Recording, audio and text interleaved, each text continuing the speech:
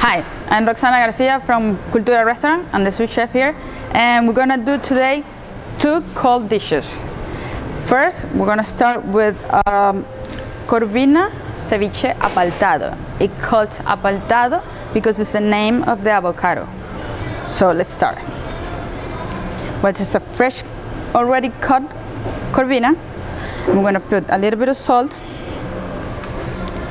a little bit of pepper. This is a traditional Peruvian dish and we do it here with our touch. Cilantro. And the most important thing of this, dish is the leche de tigre. This uh, juice is mainly with uh, lime juice, uh, a little bit of onion, ginger, and it allows us to cook uh, the fish a little bit, not to feel it so raw. Massage a little bit the fish to integrate the flavors, the salt and the pepper.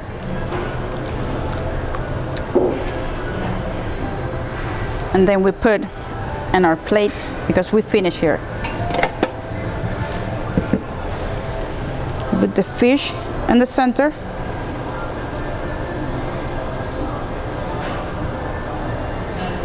and we finish with the juice. It's like a creamy leche tigre.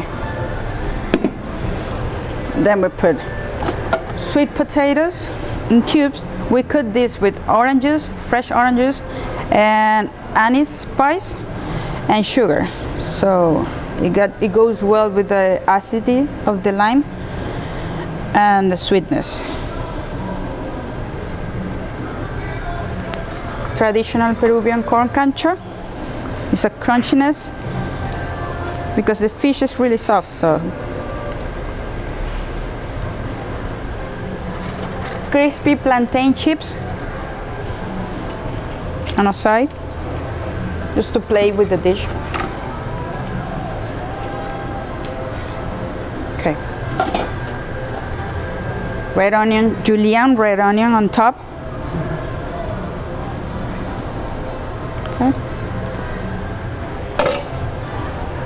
With micro cilantro that goes always cilantro goes really well with the ceviche.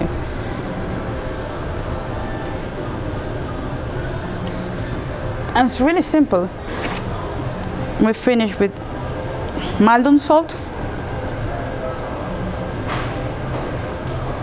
and a little bit of extra virgin olive oil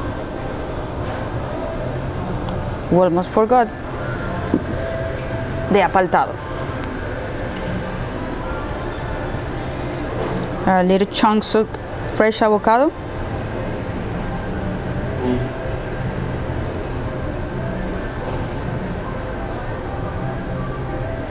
Mm -hmm. And that's it. Voila.